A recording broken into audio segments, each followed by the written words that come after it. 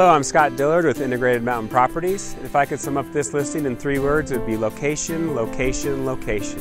317 Park Drive is located on a large flat lot in the coveted South Park neighborhood.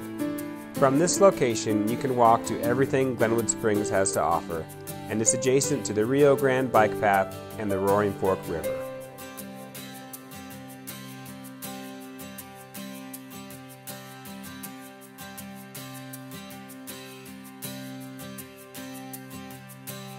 This low maintenance home consists of four bedrooms and two bathrooms, all of which have been completely remodeled.